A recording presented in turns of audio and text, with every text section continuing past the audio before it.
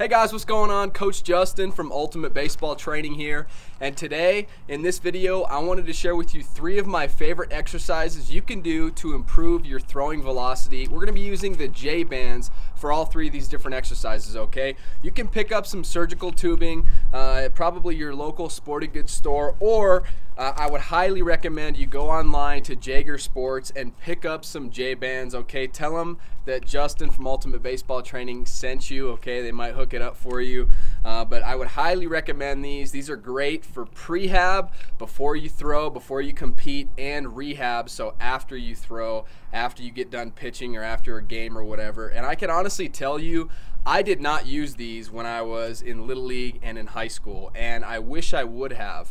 Um, I didn't really start using these until maybe senior year of high school or freshman year of college, and I use them pretty much every single day in college now.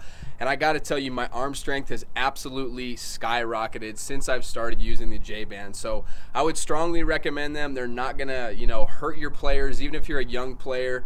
Um, they're they're definitely to be beneficial for you to improve your rotator cuff and your shoulder strength. So highly recommended. Pick up some J bands, and I'm to show you three of my favorite exercises right now. There's tons and tons of different exercises you can do, but I'm to show you three the, the ones that I really like. So we're gonna come up to a fence like this, and for all three of these exercises, we want the J-bands to be approximately mid-back height, okay? So I'm gonna put this on the fence here. All right, make sure it's nice and sturdy, not going anywhere. And then I'm just gonna attach these to my wrists, okay?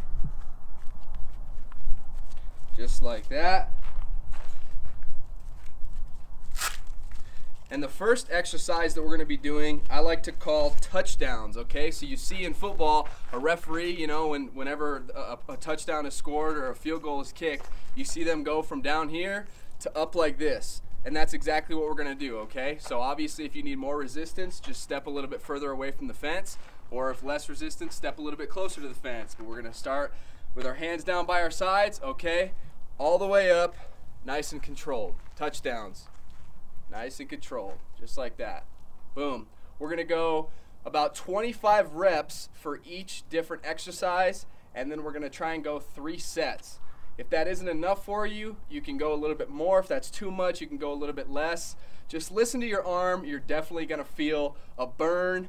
Um, and bottom line, just listen to your arm because your rotator cuff is going to be on fire, okay? So that's touchdowns, all right? The next one is rotator cuff burnout. So same setup, okay? And we're gonna start again with our arms down here and we're gonna face our thumbs down, okay? So we're gonna start down here, thumbs down, and as we come up, we're gonna rotate our thumbs out like this, out and up, like we're giving somebody a thumbs up, okay? So we're going from thumbs down to thumbs up. And then obviously when you go back down again, you wanna bring your thumbs down. So down, up like this. That's a little too easy. I'm to step a little bit further away, down, up. Really feel a burn in my rotator cuff. Oh yeah.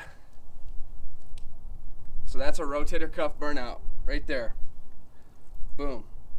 The final rotator cuff exercise, we're to do reverse flies. Okay, so I'm to be turned around for this one. This is really to help you build your scaps, okay, and again, that backside of your shoulder and your rotator cuff.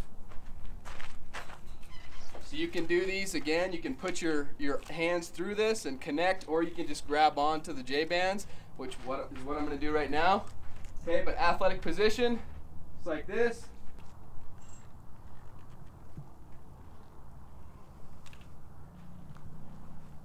So there you have it. Those are three great exercises you can do with the J-bands. Like I mentioned, there are tons, literally probably 20, 30, 40 exercises that you can do with the bands, but I would highly recommend uh, you pick a pair up, okay? So again, go check out Jaeger Sports. That's where you can buy them online. Tell them Justin from Ultimate Baseball Training sent you. Uh, but this is really, really great to do prehab before you compete, before you practice, before you pitch, whatever, and then obviously afterward as well. It's going to keep your arm healthy. It's going to definitely get it stronger, and it's going to help you build that velocity that you're looking for. So hopefully you've enjoyed this video. If you have, leave me a thumbs up. Be sure to subscribe and if you want a full throwing workout, you know, these drills are going to help you a little bit, uh, but if you want a full step-by-step, day-by-day throwing workout, then what I want you to do is click on this image right here, okay? That's going to take you to my website. If you're on a mobile device, that's not going to work, no big deal. Just click on the first link below this video in the description, but that's going to take you to my website. All I need is your email address, and I will immediately send you that free throwing workout. So hopefully I'll see you over on the site. Thanks so much for watching, and I'll see you next time.